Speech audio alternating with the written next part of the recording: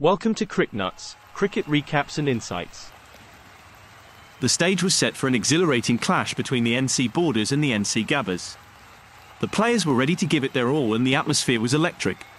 Absolutely, Gamor. The tension was palpable as both teams aimed to outshine each other.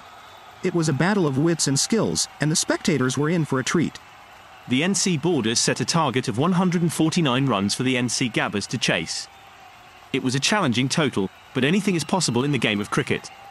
Indeed, Gamor, the NC Bourdas showed determination and resilience with their batting performance. Now it is up to the NC Gabbas to prove their mettle.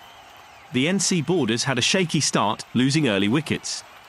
Callum Edwards and Ritvik Shivakumar tried to stabilise the innings, but the bowlers were relentless. The NC Gabbas bowlers were on fire. Siddharth Hari and Dayan Patel wreaked havoc, picking up crucial wickets. They kept the pressure on the NC Bourdas throughout the innings. The NC Gabbas faced an uphill battle while chasing the target. The NC Bourdas bowlers were determined to defend their total and they did it with precision. The NC Bourdas bowlers were exceptional. Sai Anshul, Nilai Rakesh, and Hanan Rapaka bowled brilliantly, taking wickets at regular intervals. The pressure was too much for the NC Gabbas. Callum Edwards played a vital role in the NC Bourdas innings, contributing 18 runs. His partnership with Advarath Kothandaram set the foundation for their total. Siddharth Hari showcased his resilience for the NC Gabbas, remaining not out with seven runs. He fought valiantly amidst the fall of wickets and showed great determination.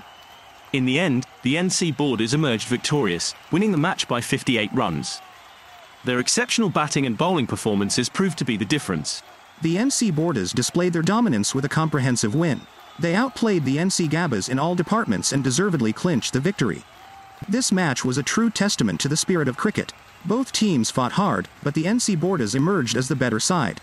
Kudos to them for their outstanding performance. Absolutely, Samuel.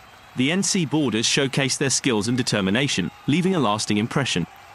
It was a thrilling contest that will be remembered for a long time.